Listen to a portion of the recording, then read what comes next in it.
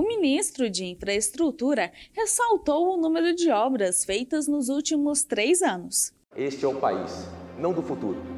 Este é o Brasil do presente. Presente hoje que nós estamos fazendo aqui. Esse presente que mostra que nesses últimos três anos e seis meses nós entregamos 280 obras públicas. Nós fizemos hoje nosso centésimo leilão.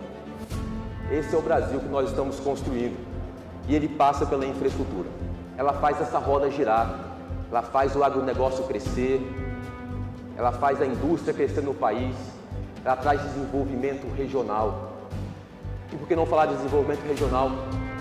Esse modelo de leilão que nós definimos, planejamos, estamos fazendo não é a primeira rodada, é a sétima rodada. Nós queremos trazer desenvolvimento regional para o país com a aviação. Resultado hoje comemorado de 7,3 bilhões de reais de contrato, sendo agora para investimento nesses 15 aeroportos.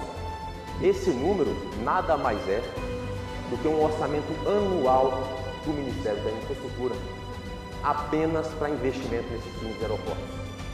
Isso vai ser uma transformação para os brasileiros que moram em Altamira, que moram em Ponta Porã, em Montes Claros, em Marabá.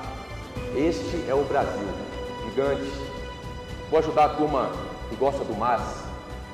E toda vez que a gente tem uma boa notícia do país, vai vir acompanhada de mar. E eu ouvi esses últimos três dias que nós teríamos apenas um proponente para o aeroporto de Congonhas. É, um proponente para o aeroporto de Congonhas, mas 231% de água.